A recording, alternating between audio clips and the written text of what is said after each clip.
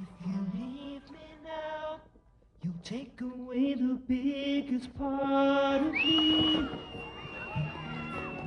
Ooh, no, baby, please don't go.